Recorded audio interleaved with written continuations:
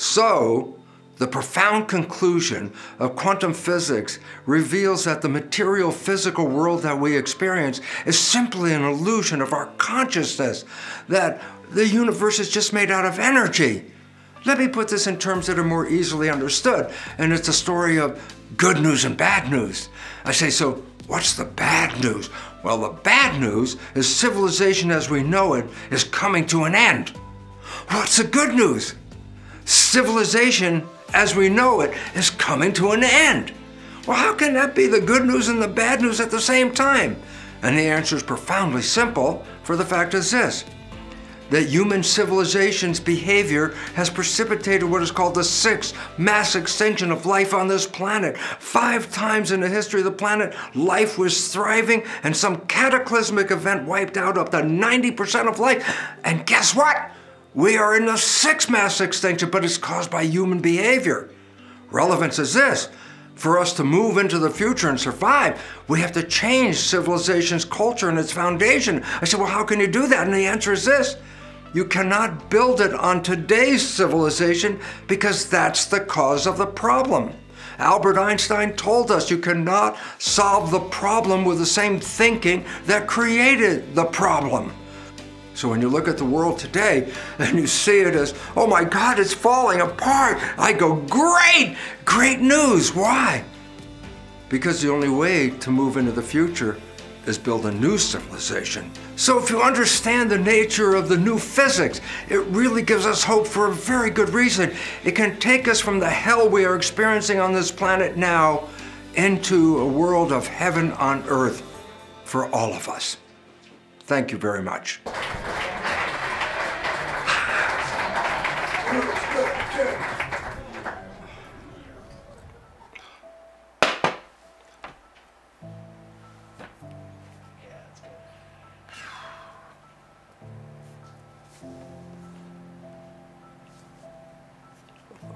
Wow. Looking at the world and seeing what's going on right now, all the chaos, the upheaval that's going on is so distressing at one level. And it's interesting for me because as a scientist, I can stand up and talk about the fact that today's chaos is a necessary requirement for the evolution that we would love to see. And yet I, like you, have to live in this crazy world. It's mind-blowing, it's crazy. And it becomes really important because all of this stuff that we're hearing is motivating fear. And fear, by its definition, is disempowering. Because when you're in fear, you're expressing, I have no power to take care of myself. And we give up power. And we give it up to other people to create the world for us. And obviously, by looking at this computer and watching what's going on around the world, those so called leaders are not really helping us get to the destination of a heaven on earth reality. And it's time to recognize yes, fear takes away our power. I've talked about that in many, many lectures. Talked about the fact that stress hormones actually shut down our consciousness and puts us into a reactive mode. Well, this is not a time for reaction. This is a time for creation. And this is what the emphasis of quantum physics has been telling us, that it's our consciousness that is making creation. And yet, if we're living in fear and consciousness is coming from fear, then what world are we creating? Well, that's the chaos we observe every day on the news. So in this situation, what we really have to do is just listen to the words of Franklin D. Roosevelt when he said, the only thing we have to fear is fear itself. Also relevant today are the profound words by Frank Herbert in Dune, where he says, fear is the mind killer. And this is what we have to recognize. Well, I've been talking about the fact that consciousness is created in our world, and I say it's based on science. Well, let me give you a very important fact.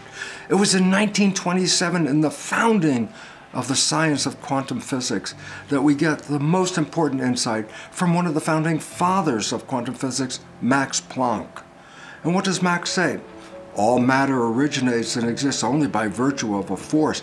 We must assume behind that force the existence of a conscious an intelligent mind. He concludes, this mind is the matrix of all matter. Well, that was what, 70 more years ago, 100 years ago? I say, has that changed? I go, no. Uh, look at this, for example. This is an article out of the most prestigious scientific journal on this planet, Nature. And I say, well, what's this article? I say, it's called The Mental Universe. It's by a quantum physicist at Johns Hopkins University. I'm not going to go and describe everything he says in the article because Richard Conn Henry, the author, summed it up in the last sentence. Let me emphasize for you that last sentence in this article on quantum physics. The universe is immaterial. It's mental and spiritual. Live and enjoy. Well, this has been the constant truth of quantum physics since the beginning. And quantum physics is the most valid of the sciences in regard to the theories actually predicting reality. So the significance is we have to do something about our consciousness. Now, I've been talking about that consciousness for a long time. But finally, medicine is actually just beginning to see the light of this new insight. I'd like to read a quote from you from Steve Cole, a professor of medicine at University of California, Los Angeles. He wrote an article on poverty and the genetics of health.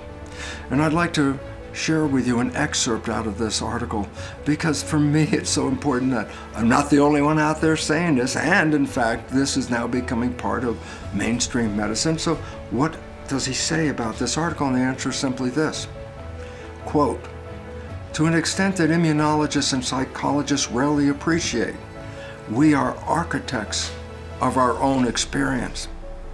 But then he goes on to say, your subjective experience carries more power than your objective situation. And I go, well, that sounds interesting. Actually, it's more than interesting. It's the most profound sentence I could read for you. And I go, why?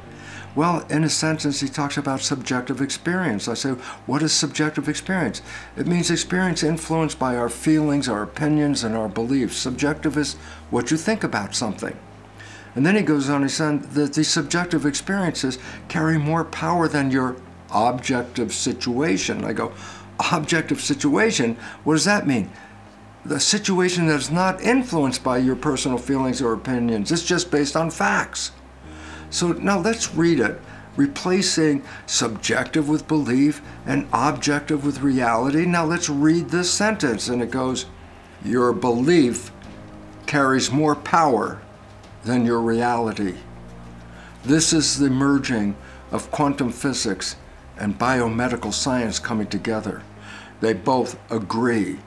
It is through our consciousness that we are creating the experiences we are having in our biology and the behavior that we're experiencing and manifesting in the world. And when we understand this and take it from the awareness of the conscious mind, it says, yes, I, I know that as a principle. I say, yeah, but we must take that belief and put it into our subconscious program because our life is coming 95% from the subconscious. So if we don't take that belief and put it in the subconscious, the knowledge in our conscious mind will have no influence on our lives.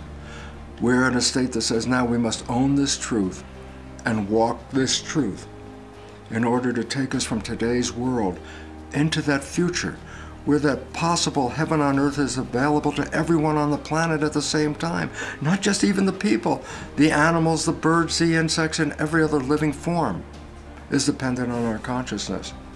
The more people sharing the same consciousness of a healthy, happy, harmonious future, the more people that are thinking that, the more broadcasts, the more tuning forks, and they add up because there's power.